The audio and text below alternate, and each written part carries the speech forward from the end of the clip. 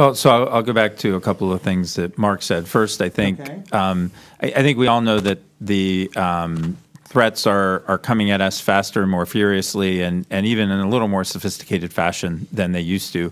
And um, we really need to have a look at the acquisition strategies that we have. DHS has done a great job with you know kind of keeping trying to keep the requirements fresh, trying to keep this rolled out as fast as possible. But they're hamstrung, right? They are they're just a certain amount of things that the process is requiring you to do. Right. We haven't there's only so much depth. Every agency suffers from you know, Right. And, and, depth. and so, uh, you know, I, I think our biggest challenge is going back to GSA and the acquisition guys and saying, okay, how do we do this faster? How do we look at the risks? Because acquisition policy is set up to avoid risks, right? How do we look at rejiggering the risks in a way that prioritizes um, the risk of getting breached over, say, the risk of um, making a mistake, right? Because a lot of our acquisition strategy has been based around our ability and our unwillingness to make a mistake. So the question is, how do we make mistakes faster and less expensively to get to the things that we need? And then once we get through the acquisition policy, we need to look at are we putting the infrastructure in place to allow us to roll out whatever we get quickly?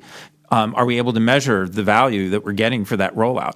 Are we able to buy it in a way that doesn't require huge upfront financial commitment? So again, we reduce the risk. And then most importantly, are we able to obsolete it quickly?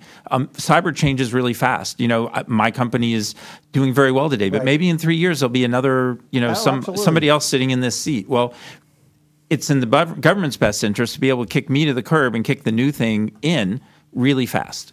Um, and as our as the adversaries, you know, kind of get into this this mode of even increasing their rate, those are some of the lessons that I've learned. Things that we can do to take the great baseline we've laid down and, and do it faster um, and, and more broadly across uh, across enterprises.